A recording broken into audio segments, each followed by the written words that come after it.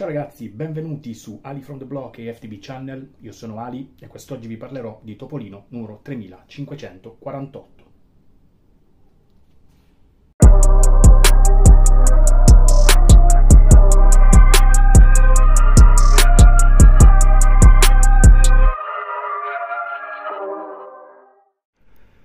Eccolo qui, Topolino numero 3548 con questa bella copertina di Corrado Mastantuono e colorata da Mario Perrotta, una copertina con sfondo bianco, una copertina molto musicale con i nipotini che suonano degli strumenti insieme a, mm, al loro zio Paperino eh, ed è un po' quello che poi leggeremo all'interno della, di questo numero perché ci sarà una storia dedicata proprio alla musica e al gruppo, alla band di qua,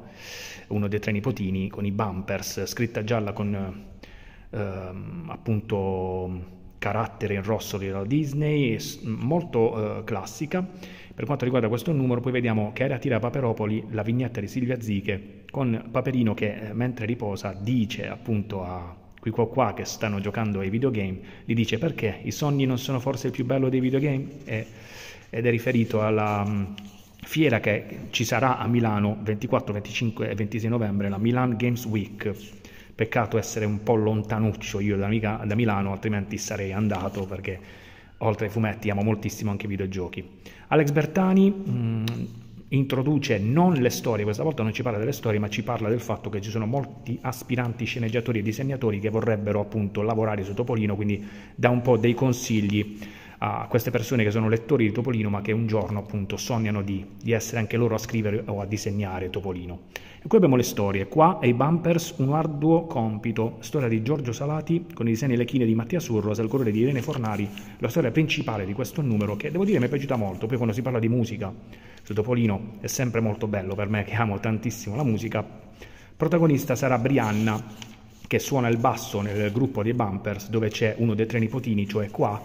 eh, c'entrerà anche la matematica perché lei eh, riceve un brutto voto a matematica perché si vuole concentrare sulla musica, eh, dopodiché non vi dico cosa succede, ma gli farà capire che anche la matematica è importante nel corso della vita, non soltanto insomma, le nostre passioni, ma anche la musica e la matematica possono essere, eh, insomma, eh, possono andare di pari, pari, di pari passo. C'è, ci sono i vari mh, mm, redazionali, qui videogiochi fumetto, la combo perfetta, c'è un'intervista a Claudio Sciarrone che sarà presente alla Milan Games Week e ci sono anche loro, cioè i player inside che spesso abbiamo visto appunto sulle pagine, ultimamente spesso sulle pagine di Topolino, sono degli youtuber che anch'io seguo perché come vi ho detto, come ho detto spesso, mi piacciono i videogiochi.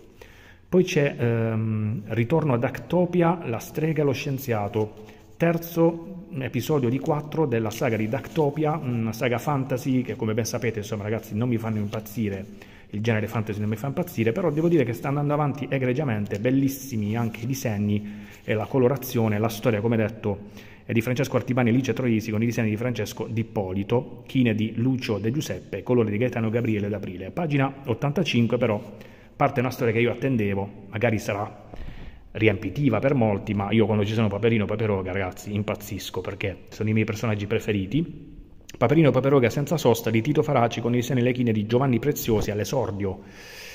eh, su Topolino, anche se mi sa che sullo scorso numero Alex Bertani aveva omesso di nominarlo,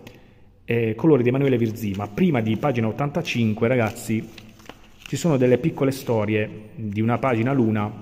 tutti in fila, preparativi di Claudio Sciarrone, che ha disegnato e ha scritto anche le storie. Eh, Preziosi mi piace come ha disegnato la storia, mi è piaciuta anche la storia corta ma incisiva di Paperino Paperoga senza sosta alla ricerca di un parcheggio.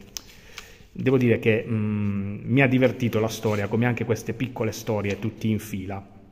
Poi c'è una storia di Pippo Spot, la storia di Pippo Spot, ragazzi, Pippo Spot non mi fa impazzire di solito, però devo dire che in questo numero mi è piaciuto. Eh, sul filo del vento, Pippo Sport di Alessio Coppola, storia di Senni e Chine, colore di Putra Sharbin bin Abjalil, eh, una storia simpatica, del, del, resto quando c'è Pippo di mezzo ragazzi è spesso così, anche nelle vesti di Pippo Sport ci sarà anche Gancetto, storia carina ma niente più. Si parla di NBA, il basket è il mio secondo sport preferito dopo il calcio, l'NBA la seguo quando posso, e poi c'è una storia inedita in Italia